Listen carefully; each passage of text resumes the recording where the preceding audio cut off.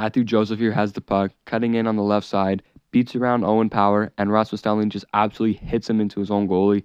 And no surprise here, Eric Comrie's down in pain. His own player just hit a dude on top of him. Obviously, not going to feel good. And the replay here, you can see Mathieu Joseph driving the net, and Rasmus Dahlin just absolutely takes him out. And if Mathieu Joseph doesn't get hit by Rasmus Dahlin, he probably doesn't even make contact with the goalie. As you can see, he's going really wide, and Dahlin just absolutely takes him out, smokes his own goalie. Now, Comrie would stay in net for a few more minutes, but obviously showed a lot of discomfort throughout the play. And Craig Anderson would eventually replace Eric Comrie in net. Obviously, not being 100% makes sense. And the Senators would go on winning this game 4 1, and Sabres have now dropped seven straight.